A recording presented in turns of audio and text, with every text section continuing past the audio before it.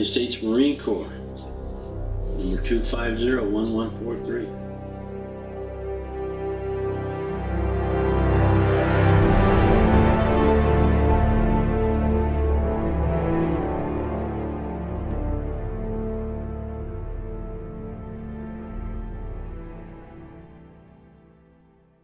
There was a pitch black all around. There was a basketball court out there.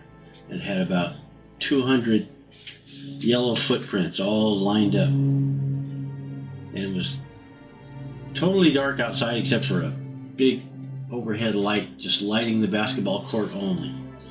Everything else, you couldn't see what else was around there. And as soon as the bus stopped, door pops open and DI's out there.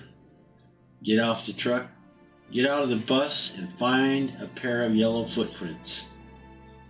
And that was a.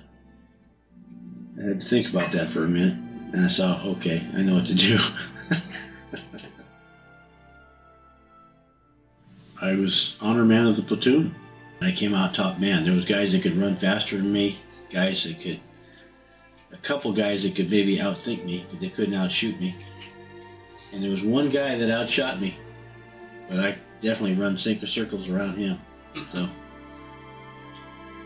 after boot camp, it had to be about three months. Some guys got Germany, some guys got Spain, some guys, everybody else got Vietnam. So when you when you get the news, you you, you half expect it. I mean, that's that's where you're going to be going. Especially when I was going to the Marine Corps, I knew I wasn't going to go to Germany or Spain.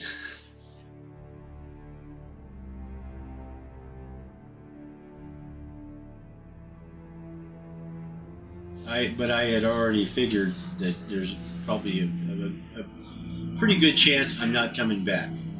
Uh, just because of, you just don't know what to expect, and you, the Marine Corps prepares you for worst case scenarios. So it just says, well, if I come back, I'll be lucky.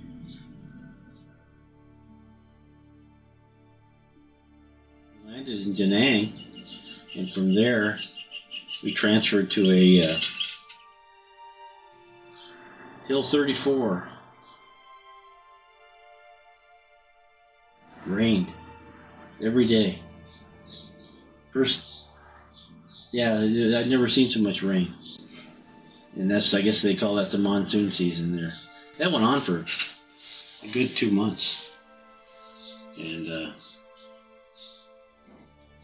then, it, then it let up. Their, their their idea of winter is 70 degrees. You know, that's cold. That's cold. So, other than that, it's hot. Not not as hot as they claim. It wasn't 125 like some guy said, but it was damn hot because it was humid. So, most of the time it was around in the high 90s and 100, but but uh, the humidity made it real unbearable. You just you're dripping wet and clammy, sticky all the time, 24 hours a day. You get used to it. It's all about luck. It's just, just you know, things things zing over your head and things hit near you and, and there, but I don't know. Uh, mortar, mortar round landed about 15, 20 feet from me one time. That was pretty close.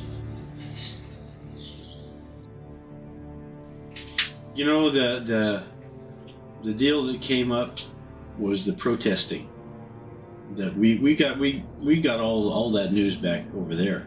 All the protesting was going on, Jane Fonda and all her bullshit, and and the Berkeley, you know, anti-war protests, all stuff, and uh, I remember what a friend of mine from uh, New Mexico, Bob Jerome, he uh, they asked him, you know, if when he got out, is he going to be a hippie? And, and he goes, yeah, I probably will. How about, a, are you going to be a protester?